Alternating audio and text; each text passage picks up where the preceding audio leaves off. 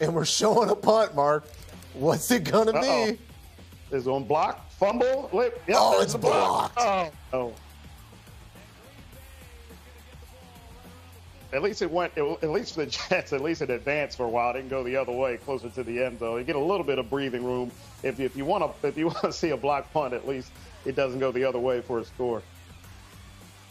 So Mann gets his punt blocked, but he gets credited for a six-yard punt because it goes off of the defender's chest. It's off of Wilson's chest, and then I guess because the ball's not round, somehow it bounces the other way.